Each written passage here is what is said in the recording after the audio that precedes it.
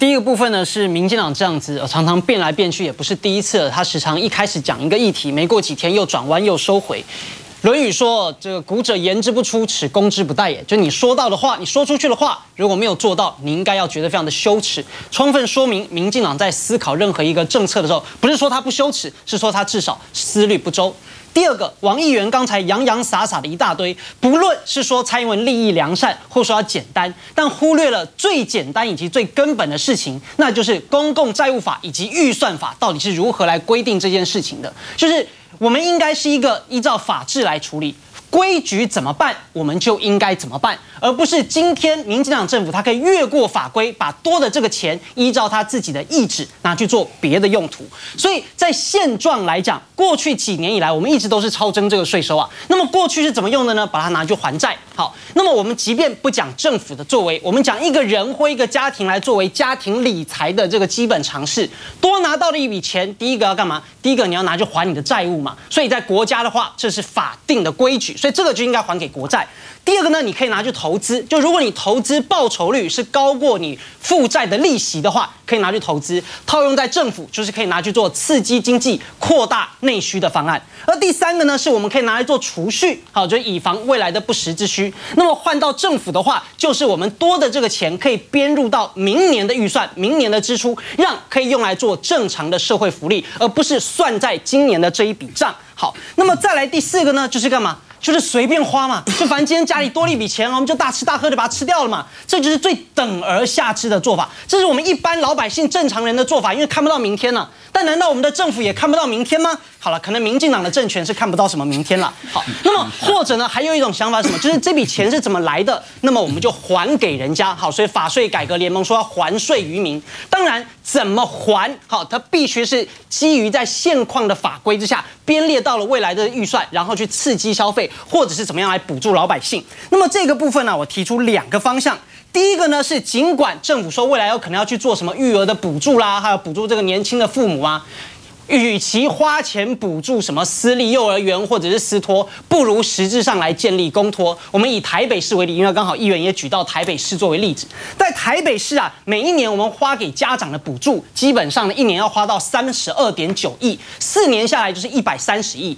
但是呢，如果我们要让全台北两万名新生儿都能够念公托的话，其实只要花四十亿。在全台也是设立全台的公托或公立幼稚园，大概也不需要于啊，会比补助的金额。会少得非常的多，这部分请政府思考。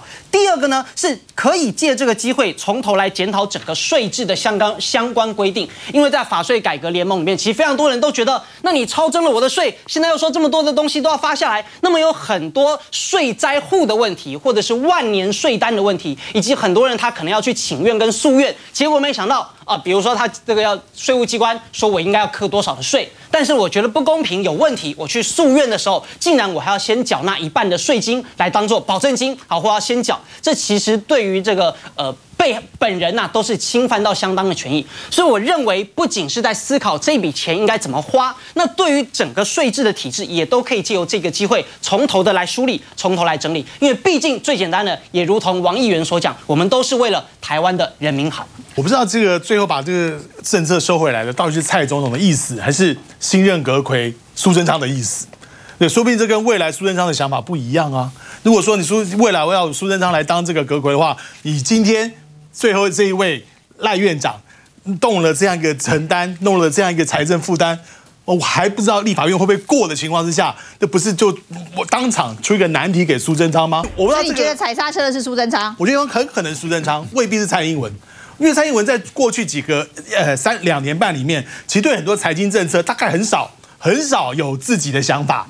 大多是底下的人送上来，大家就按照这个行，再按照这样去施行，除非有比较强的反对声浪，然后再出现法法夹弯，比如说 ABS 机车加装 ABS，那很显然就是一个机关里面科长级的这个是这个决策，但是呢出来之后民意沸腾，所以蔡英文来说踩刹车说不干了。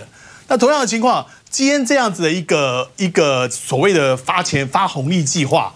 那到底是府发动的还是院发动的？呃，是蔡总统在元旦谈话自己讲的。那我不知道是行政院里面去揣摩蔡总统的上意，然后去拟拟出这样的计划。所以这样的决策过程，非常的模糊，是一个黑箱子。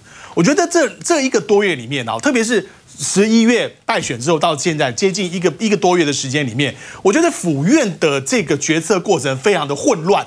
有的事情呢，根本就是行政院应该就自己决定的。比如说我刚才讲的机车加上 ABS，全世界各国大里面有一个是要总统来决定这件事情，本来就是应该行政院内部啊，甚至这个相关的交通单位决定就好。啊，最后是由蔡英文来踩刹车，所以到决策过程是蔡赖院长呢，赖清德故意放着给他烂，然后让蔡英文收，还是呢？蔡英文跟对赖院长的很多决策已经很不满了，双方在底下进行很多的一些对抗。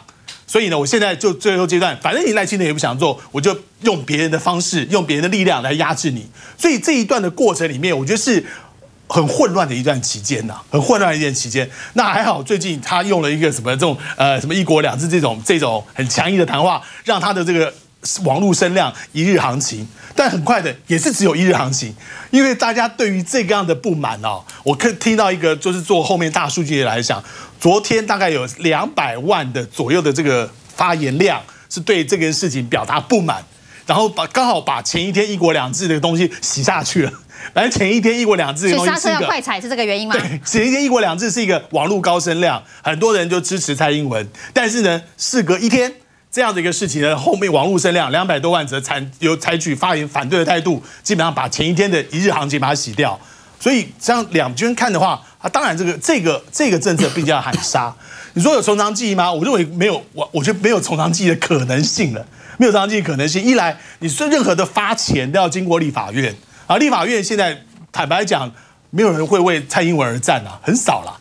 很少了，很少。王世哦，王世啊，他不是立法委员，很可惜，王王议员不是王委员哈。那那那，基本上为了他而战的很少。那有的选区根本就没了，只有赶快顾自己。所以未来重长计议的可能性是完全没有。我在试想，大家从一个角度看，如果中华民国是一个国家，蔡英文是这个国家的董事长，这个国家已经负债五兆多的时候，我今天好不容易只有有四百亿，我去发给股民，第二天一定是股票一定是完全跌停板。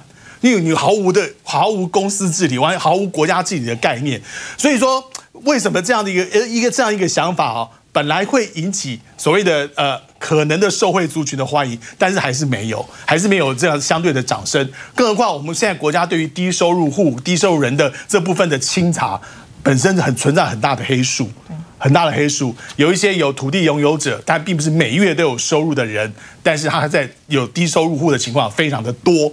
我我们很多的寿星阶级，七百万的寿星阶级，一毛钱都逃不掉，一毛钱都没办法避。在这个情况之下，再加上最近很多人拿到补税单啊，补税单，所以就更加不满。追税单已经开始，追税单已经出来了啊！有人追税单一追就是两三万、七八万，呃，把在相对这样一比较，当然很多上班族当然不满了。所以为什么这个这个这个政策也是只有一日行情？